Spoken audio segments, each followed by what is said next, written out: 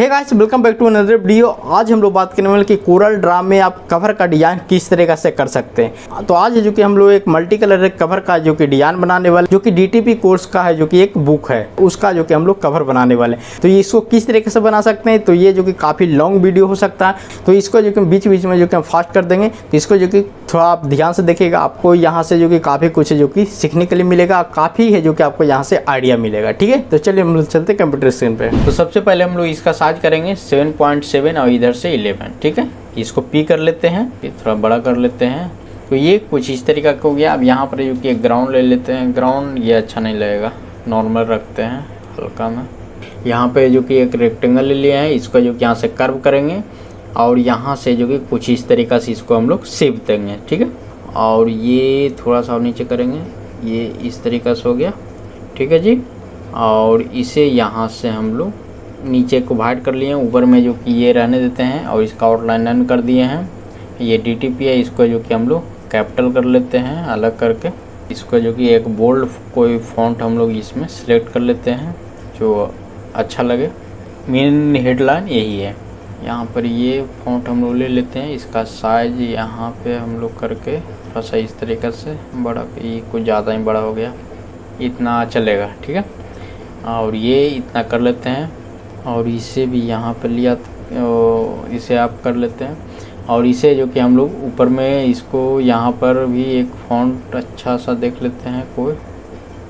हाँ ये चलेगा। ठीक है? और इसे मतलब कि ये थोड़ा सा छोटा ही रखेंगे कोर्स को। और ये यहाँ से कुछ इस तरीका से हो गया। कवर बनाने में काफ़ी टाइम ले लेगा। तो इसको जो कि हम यहाँ पे फास्ट कर देते हैं। ठीक है?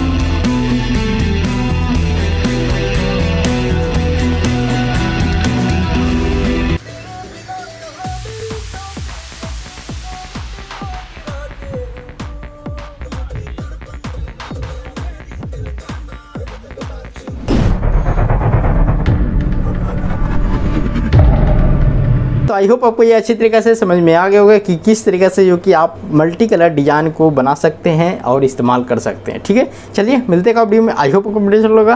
वीडियो वीडियो लाइक किएगा कुछ ज़्यादा ही अच्छा हो तो चैनल को सब्सक्राइब कीजिएगा मिलते का वीडियो में। इसी तरीके का वीडियो आपके लिए लाते रहते हैं। अगर आपका कोई क्वेश्चन है तो कमेंट कर सकते हैं और ये भी कमेंट कर सकते हैं कि नेक्स्ट वीडियो किस टॉपिक पर चाहिए, ठीक है?